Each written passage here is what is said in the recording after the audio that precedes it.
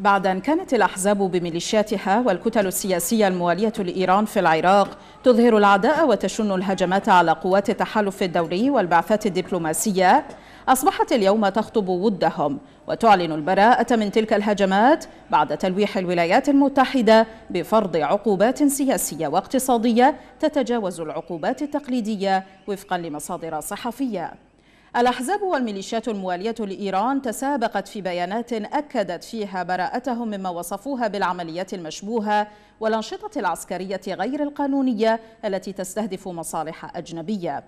رافق هذه التغييرات في مواقف الميليشيات إقالة آمر اللواء 30 في ميليشيا الحشد وعد القدو وزعيم ميليشيا سرايا الخرساني حامد الجزائري في محاولة لتغيير الوجوه بأخرى تحمل نفس الولاء لإيران. مصادر مطلعة تحدثت عن القلق لدى زعماء الأحزاب والكتل الموالية لإيران الذين أبلغوا في اتصال هاتفي مع وزير الخارجية الأمريكي مايك بومبيو بأن واشنطن ستتعامل مع كل من يسكت أو يتساهل إزاء استهداف قوات التحالف الدولي والسفارات باعتباره شريكا في الهجمات.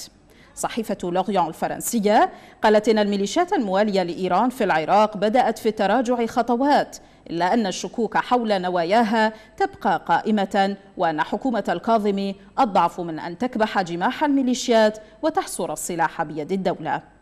من جانبها تهمت الخارجية الأمريكية ميليشيا الحشد بزعزعة الاستقرار في العراق وأكدت أن إيران تلعب دورا تخريبيا في المنطقة منذ عام 1979 وتواصل دعمها للميليشيات التابعة لها بأموال ضخمة لا سيما في العراق.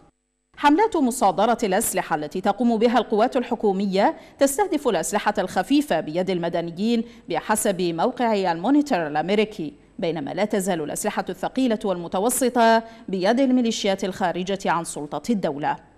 العراق أصبح ساحة للتدخلات الإقليمية والدولية ويعاني من أزمات غير مسبوقة كالفوضى الأمنية والتراجع الاقتصادي وتفشي الفساد بحسب صحيفة ذا هيل الأمريكية التي أشارت إلى أن التنافس الإقليمي على العراق دفع الشباب المتظاهر إلى الخروج ضد الأحزاب السياسية المدعومة إيرانياً.